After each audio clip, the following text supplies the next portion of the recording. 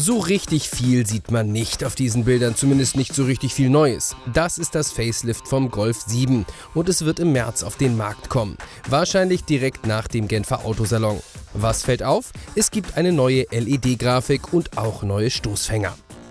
Die Neuigkeiten im Inneren werden da schon etwas gravierender sein. Zwar bleibt das Interieur bis auf neue Farben und eine größere Materialauswahl fast unangetastet, aber technisch tut sich doch vieles.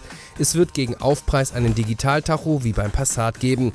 Außerdem gibt es noch ein neues Multimedia-System mit Echtzeit-Staudaten und Online-Funktionen. Auch einen Staufolgeassistenten und damit teilautonomes Fahren wird es künftig geben. Alles natürlich nicht in der Basis. Die kostet dafür aber auch weiterhin nur 17.650 Euro.